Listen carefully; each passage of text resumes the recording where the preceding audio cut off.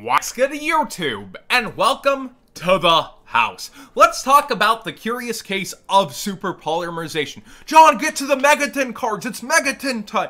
That's at the end of the video. I'll be going over my thoughts briefly. I get so many people are vested and their eyes are glued on the Megatons, but the market waits for no man, and there's so many other things going on. So with super polymerization, there's currently not a copy under $20, except for a couple sellers on the commons from the Cyber Dragon Revolution structure deck. And this is because these are still still on shelves right now. So you can make a quick buck actually finding these at Walmart, Target, ripping them open, selling the Super Poly, get a little extra cash on top of what you just spent, and have yourself a Cyber Dragon core. Ah, top tier puns.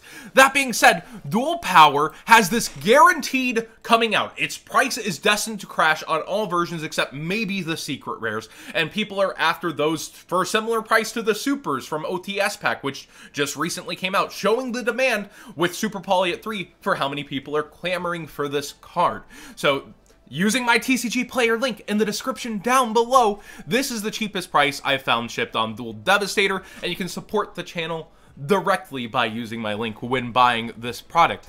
I think I would be selling this right now if I have any extra copies. Now, if your deck uses super polymerization and it's kind of vital to your strategy, or it's a very good tool for you, it wins you a lot of games, keep it. I get the price is destined to crash, but if you're playing in regionals, YCSs, competitive events, you're kind of stuck with it. There's three YCSs leading up into the FNL list, the no sooner than expiring, and Duel Devastator itself, a one-two punch coming in mid-October. I think that you'll want your super polys up through those events if you're playing them. And the other good news is super polymerization targets are just so cheap. Looking at Starving Venom Fusion Dragons, maybe people will be after the max rarities, first editions, more than ever when super poly is in everybody's hands. But I doubt it because you'd be after max rarity super poly in the first place, right? Uh, Fist of the Gadgets just gave us a super rare. It is nice and cheap. What else is nice and cheap? Mudragon out of the Megatons. We see Metalfoes Crimsonite, and there's quantities to match. And this is the highest rarity one. There's also the common. These are highest rarity copies of what people would be after, and they are just not expensive at all. I believe Drago Nether Soul for the zombie players also got a recent reprint. All is good in the world when it comes to super polymerization targets. Konami's even ahead of the game on this one. So let me know if there's any kind of more unique ones you think will see heavy play that I might have missed. But so far, everything's really awesome when you're going for super poly stuff. Now, TCG Player did have that 8% bonus bucks sale earlier in the weekend. It affects a lot of things that are more staple-ish. Infinite Impermanence Secret Rare up towards $82 on the platform. And we see Infinite Impermanence Ultra Rares 44. This is why I tell you to always shop both, even though it supports me to use that link down below. Infinite Impermanence over here. There's plenty of $40 copies all over eBay. That's saving yourself 10% on this card. Maybe there was a point where that 8% bonus bucks back was worth it on TCG Player, or people just added it to their cart to, for the end of the sale. Well, it's it's much cheaper over here because of those quantities that people were waiting for. Whenever there's a sale, people tend to just grab at things they've been wanting because now is the time. Here's a curious little price I didn't know. Borreload Dragon's a $5 card. I didn't know this one at all. It's terrible. Uh, yeah, it has an effect of bringing back a monster from the graveyard. If it was destroyed and sent there this turn. Ah. Oh yeah, it, can also target a monster and change its defense position. I feel like Borrelsword does that also. This is completely terrible. I, I get that it's an anime revolver card. I would still be getting rid of this. I think at one point it will get reprinted just because it's a revolver card. But uh, I see no use in keeping this around. And we see it's around 430, 450 on eBay as well. Now, a card that I did expect to go up over time, another revolver card, is Topologic Bomber Dragon at $10 about over here on TCG Player with only one page. The Fallout is much nicer on eBay, where we see 640, which is kind of its old price, 750, 750, and it does somewhat quickly rise. In my opinion, Orcust can play this. I don't see a lot of boards end on this from the better Orcust players, though. I do think there is a sense of, I've got to get all the Revolver cards now, the structure deck's out. But really, uh, you know, it's. I expected to go up over time slowly, but I didn't expect to be at an anime clamor for these kinds of cards, you know? Now let's talk about a sellout for a good cause. September 11th, I'm doing a charity live stream, and it'll be for the DFW Canines for Veterans. They source their canines mostly from kill shelters, so they're last chance doggos. So you're saving dogs, you're helping injured veterans from either PTSD mentally or also physical injuries. And service doggos are like one of the top levels of having to train dogs. So, so much money goes into that. And it's two things I'm passionate about dogs and the people who serve this country. So, please do join that charity live stream on September 11th. And it would mean a lot. I'll have a bunch of special guests like last year's charity live stream.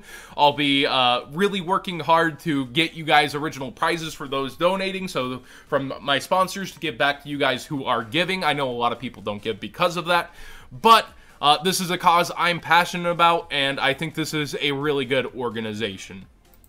World Legacy Guard Dragons back to its normal price. Normal, by the way. $11. We have a couple sellers very cheap, and you, look at how quickly it lines up on TCG Player after the Fallout. This is why I suggested shopping the Megatons from TCG Player after the first, you know, little bit of a weekend of Fallout because we see over on eBay. Look at these, the cheapest copies, 14, 15. Fallout is always way slower on eBay, and TCG Player gets much more competitive if it's not because of one of their own sales. So we see combo pieces getting really valued lately. Brotar still holding a $15 price point, and if you watch the FTK duel on the channel, you see that so you can actually use Orcust to search Cannon Soldier. It's so toxic. I love it.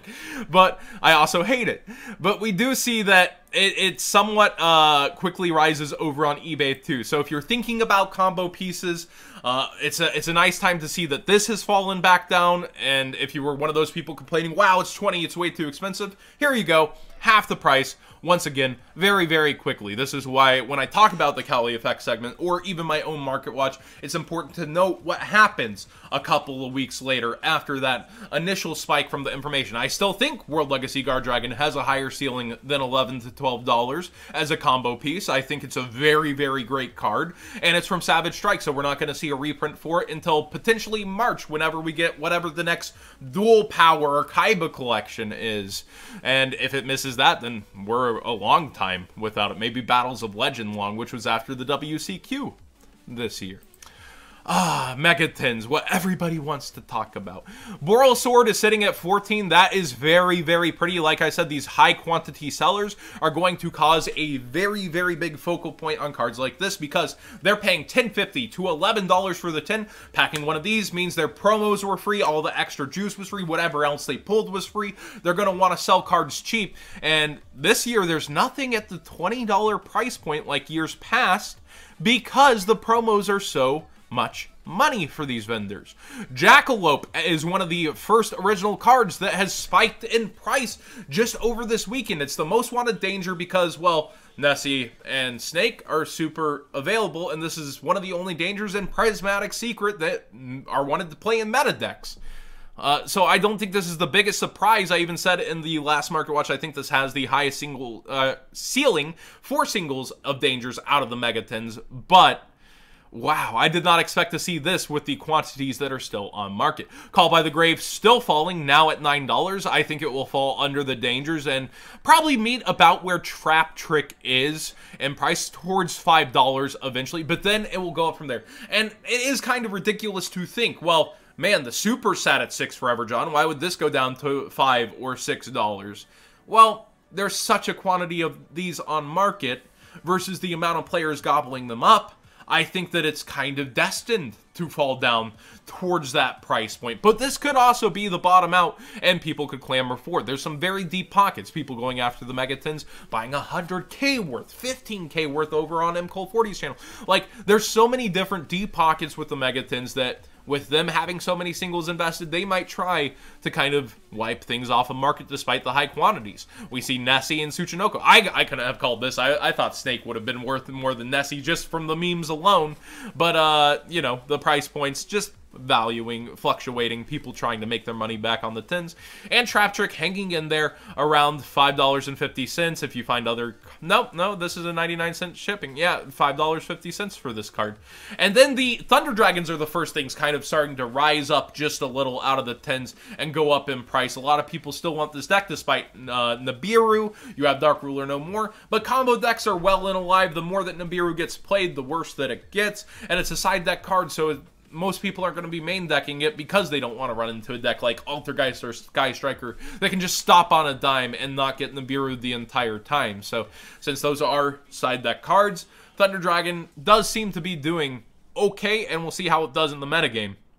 And Sky Striker is still cheap, but I think seeing the prices already start to settle and waver I would start to get my stuff sooner than later. I wouldn't wait. let's talk about what was missing in the Megatons. Levianir, still staying stable around that 35 to $40 range. And Mekk-Knight of Morningstar is something I have my eye on. A lot of top duelists on Dueling Book are playing Mekk-Knight engines, and it's very interesting to watch because whatever is rumbling on Dueling Book tends to leak out into the metagame. I've even seen Mekk-Knight mirrors on stream. It's crazy. So I would actually make sure I have a copy or two of Mekk-Knight of Morningstar, considering he's missing from the 10s and hasn't gone up already. And the Mekk-Knight engine, actually looking through this, uh, I thought I had the tab open. Sorry, live editing done, done quick and cheap by John Moore. Uh, the Mekk-Knight engine is pretty much cheaper than ever with purples easily accessible at $5 and blues also even cheaper. Uh, we see 250 unlim and we see $3 copies from the megatons. So you can get your mech knights shifty boy dollars. Just so so cheap and even cheaper if you're already shopping from these sellers so maybe check out the cards whenever you are shopping to get that free shipping combined with your order that being said, thank you so much for watching today's Market Watch. I'll be live streaming tonight, Sunday, 7 Central, as always. And bonus stream Wednesday will be a tabletop with Billy Brake, opening sealed product, playing, constructing decks, and maybe a little uh, pass format tabletop after, depending on the live stream. So, join for that as well. And like I said, set, set that alarm. Noon Central, September 11th. Please join us. It will be a 12-hour stream, and I think it's uh, for a pretty good cause. Thanks for watching, everybody.